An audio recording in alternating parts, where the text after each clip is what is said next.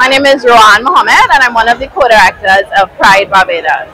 So in June across the world internationally, Pride Month is celebrated to commemorate and highlight and uplift the LGBT community. Also to celebrate all the changes and the progress that we've made as a community, but to bring awareness to the fact as well of all of the progress that still needs to be made. Um, and Pride for us in the Caribbean is really special because we really make it our own and find ways to highlight our LGBT Caribbean identity.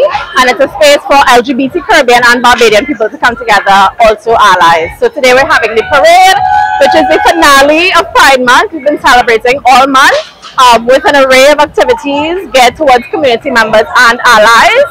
And they have all been different in nature. And today is a day to finish the month in a celebratory mood and way. And we're just really happy to be here today. How would you say the month went for you? This month was a big success. It's the first time that we've been able to celebrate Pride completely in person since the pandemic.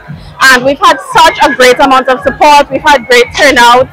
We've had great support in person and virtually. And it's just really heartwarming to see all of the progress that we've made as a society. See you have two ambassadors today on the parade with you. How does that feel to have them a part of the parade? it feels amazing to have support from people like the ambassadors of different high commissions just because it shows that they're really walking the walk and talking the talk when it comes to supporting local Barbadian LGBT people. So that makes us really happy. Anything else you would like to mention in general?